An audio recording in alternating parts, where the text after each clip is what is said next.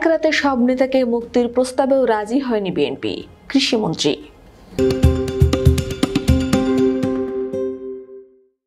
বিএনপিকে ভোটে আনতে সব চেষ্টাই করেছে আওয়ামী লীগ।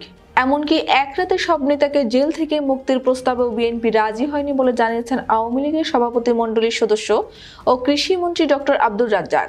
আজ রোববার একটি বেসরকারি টিভিতে দেয়া এক সাক্ষাৎকারে তিনি এসব কথা জানান। দেশের রাজনীতিতে কোথায় যেন শূন্যতার সুর। নির্বাচন নিয়ে একদিকে মাঠ গরম আছে ঠিকই, তবে অন্যদিকে মামলা আর গ্রেফতারে কারও কারও পিঠ বাঁচানোই দায়।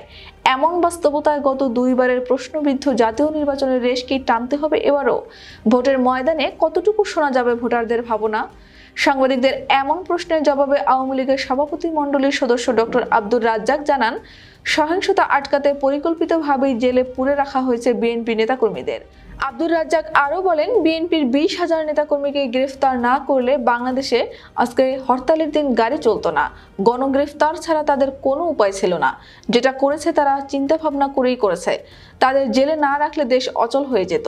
তবে কি সুষ্ঠু ও অংশগ্রহণমূলক নির্বাচন নিশ্চিতে কিছুই করেনি আওয়ামী লীগ?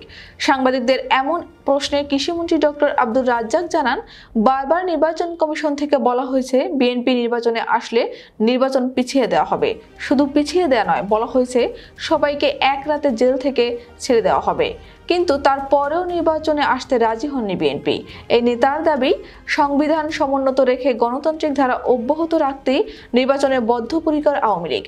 নির্বাচন গ্রহণযোগ্য করতে আওয়ামী লীগের চেষ্টা কমতি নেই বলে জানিয়েছেন তিনি। এদিকে টিআইবিও বলেছেন, আসন্ন দ্বাদশ জাতীয় সংসদ নির্বাচন অংশগ্রহণমূলক হচ্ছে না।